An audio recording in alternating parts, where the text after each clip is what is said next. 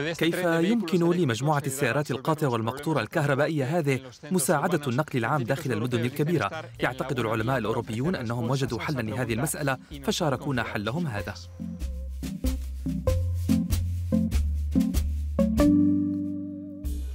في مدينة ليون الفرنسية يرى باحثون أوروبيون أن هذه الفكرة تعتمد على التشارك في السيارات الكهربائية داخل المدن وضواحيها فكرة المشاركة في قيادة هذه السيارات ستساعد المواطنين على التخلي عن تلك التي يملكونها.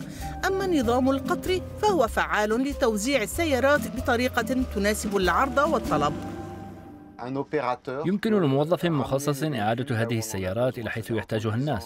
عبر قيادة سيارة واحدة فقط. يمكن قطر سبع سيارات إلى المكان الذي يريده الركاب. مبدأ قطر هذه السيارات يشبه مبدأ القطار. أما التحدي الأساسي فكان إيجاد طريقة لتجنب تأرجحها خلال النقل. فوجد الباحثون أن الربط الميكانيكي والكهربائي يعزز استقرار السيارات أثناء نقلها الميزة الجديدة للربط هذا هو هذه الإشارات. نظام التحكم مثلا يمكن أن ينتقل بين السيارات كما يمكن أن تنتقل الكهرباء فيما بينها لشحن البطاريات.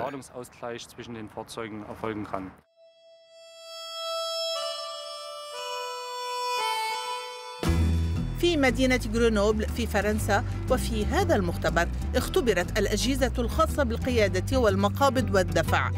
حسب العلماء فإن هذه الأجهزة تشكل قاعدة أساسية تسمح للسيارات القاصرة والمقطورة من السير بأمان بالاتجاهين الأمامي والخلفي.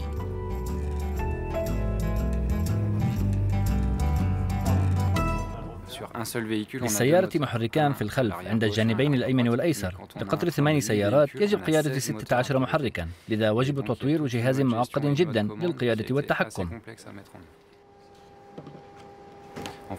لذا طورنا خوارزميات عديدة مع الأخذ بعين الاعتبار حجم السيارة وغيرها من العوامل العديدة. ثم نقوم باختبار النظام بكامله في المختبر ومن ثم في الشارع.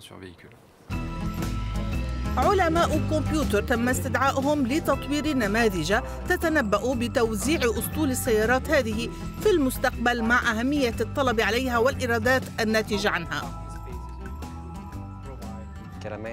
استثمارات هائلة نحتاج إليها لتحضير البنى التحتية لهذا المشروع. لذا من الضروري تحديد استراتيجية جيدة تسمح لنا بتحديد مكان وحجم محطات الشحن. بعد 50 كيلومترا من السير تحتاج بطارية كل سيارة لإعادة الشحن ومن المتوقع ألا يزيد معدل الرحلة عن عشر دقائق. هذه السيارة صممت لتكمل عمل النقل المشترك حيث يتردد الناس في استخدام هذا النقل لأنهم يعيشون أو يعملون بعيدا جدا عنه. لذلك هدفنا هو تقديم أداة جديدة للركاب تسمح لهم باستخدام النقل العام بدلا من استخدام سياراتهم الخاصة مما سيساعد في تقليل زحمة السير ونسبة التلوث وانبعاثات ثاني أكسيد الكربون. سرعة كل سيارة يمكن أن تصل ل 65 كيلومترا في الساعة.